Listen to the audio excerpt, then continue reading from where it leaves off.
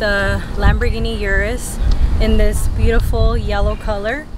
The MSRP of this SUV is around 230 to 260 and this is the SUV version of the, I would say, the Huracan. I'm not a version, but this is just what Lamborghini made so you know you can take your friends around because the Huracan or the Aventador is only a two-seater and you can't have fun with just another person. I mean, you can, but you know, if you want to have your friends, you can't can't take them in there. So I think this is a perfect car for a family or like family outing or friend outing because it seats four people. So I'm gonna go in here and show you guys. Well, actually, no. Let me show you around the car first, the outside, and then we'll go inside. So basically, this color is yellow, and this is, I think, Lamborghini's signature color, yellow. Um, it's really, it's really bright, but it's just perfect because when you think of a Lamborghini, you think of a loud color like yellow, green, orange, and you know, you if you're gonna pay two hundred sixty thousand dollars for a car, you want people to notice it, and I think this is a very noticeable color. So let's go here in the front so we could see the design. And I think my favorite part of the car on this car has to be the front end because it reminds me of to me it reminds me of a shark like a, the shark's mouth it's just so like sharp and and just the grill is just detailed and it looks like a shark to me. But yeah so that's that. So let me pop the hood now and show you guys what the output of this car is.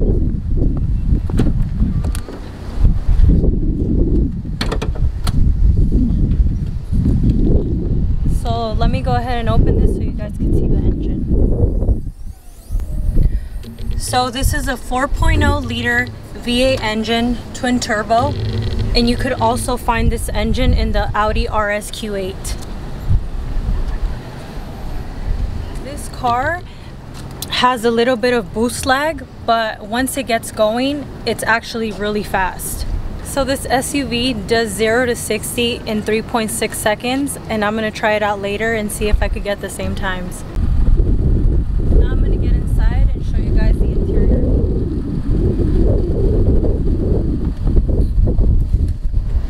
Okay guys, so this is the interior. It's also yellow in here, so it's like you gotta really take care of this car and the interior because when you wear black jeans or blue jeans especially blue jeans it really gets and like stains the seats so I always have to spray a cleaner in here and clean it every time somebody comes in here because I don't like seeing that like blue stain and this car's already kind of getting that but I mean you could take care of that and you could just get a good cleaner and it'll uh, take it off so let's go here and I'm going to show you guys the different modes the car has. So here, this Anima, it means the driving modes. So the first one is Strada, meaning it's for street. So this is just comfort. And then Sport is um, basically more responsive. Corsa is street performance and it's also built for track. And then if you're Italian or you know Spanish, Sabbia is for sand and then Terra is for off-roading and neve is nieve in Spanish and that's for snow or icy roads so it has these six here that are already pre-done for you and then it has this one here that's ego which is basically individual. And here these are like the different modes that you can do it. So when you just press this you could change it to whatever you want and that's just going to be your individual driving mode. So my favorite driving mode is Corsa and that's my favorite one because I feel like it's the most responsive and you know LA traffic there's just people coming in and out of lanes all the time. And I need to like either be an aggressive driver and when it's on strada mode the car's kind of laggy so I have to have it on Corsa for the freeway. And also it pops like crazy on Corsa so that's one of my favorite parts. Like when I come to a stop it just starts popping and I just love that. That's kind that's one of my favorite um, features about this car is the popping that it has. So these screens here are both touch screens. And I just I love the touchscreen in here. And then there's you have CarPlay you have your navigation. And then here all this believe it or not is all for the AC which is ridiculous to me. I'm like sometimes I get confused because there's just so many things. But so basically you could just go up and down or you click it like you just press it and then you could just go like this if you're in a hurry or whatever. And then you could change it to go you know up or towards you or towards your feet.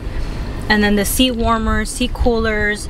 And then this right here you need this. This is for the automatic. Turn it off um, for the automatic you know when you come to stop sign and the car turns off honestly I personally can't stand that because it just once I need to go again I'm in LA traffic so once I need to go I can't go and somebody's already honking behind me so I need to have that off.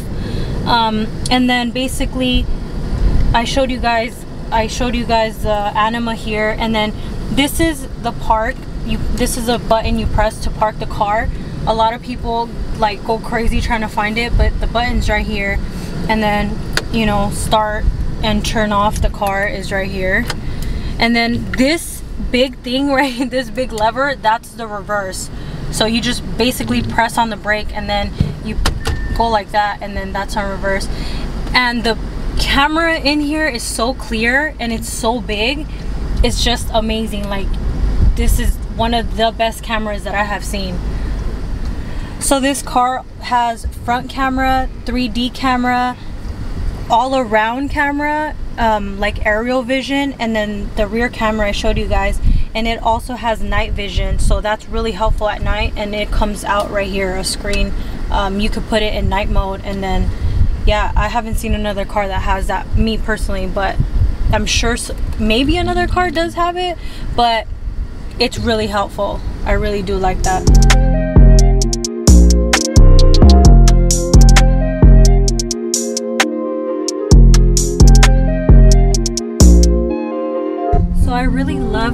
back seats and just being here in the back because we have cup holders. We also have these seats recline so or go forward and recline. So you could go forward and then you could recline the seat. Most back seats don't have that so I think that's really cool. And then we also have the buttons for the AC that you can control from back here. So the front the driver the passenger have their own AC and then the people back here have their own AC and each one is individual so that's also cool. So it does have a lot of usable trunk space which is essential in an SUV and then this is the button here to close it and then this is the button here to close it and lock it automatically so you just press it and it closes for you so overall for you know the price point and what the car is this is an extreme luxury car. I would say it's worth it. It's up there with the with performance. It's up there with the Trackhawk the AMG SUVs and the Porsche SUVs but I mean, if you're gonna spend, might as well get a Lamborghini SUV. It's really fast, it sounds amazing, it's super comfortable, it looks crazy. It's like the craziest SUV you can get that's out there. So if I was looking to get an SUV, I would get I would get the Urus. Now let's take it for a drive so I can show you guys other features and how it sounds.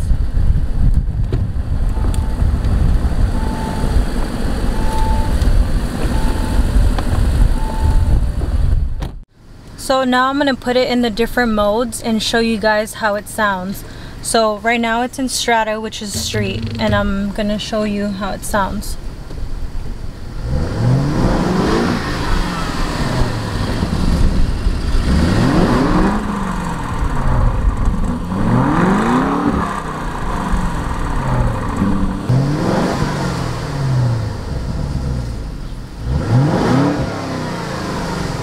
So that's Strada. That's Sport.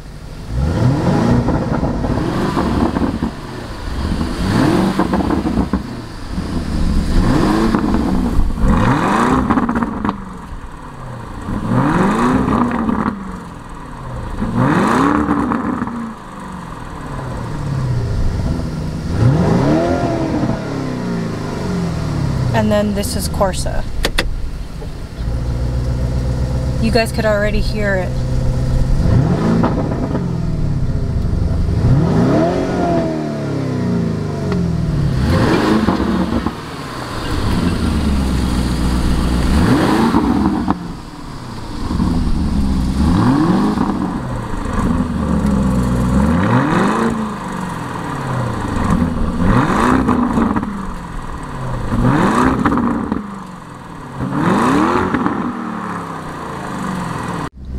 So this time I'm gonna do it with this device called a Dragy and then so we could get the real times and see how fast it actually does go.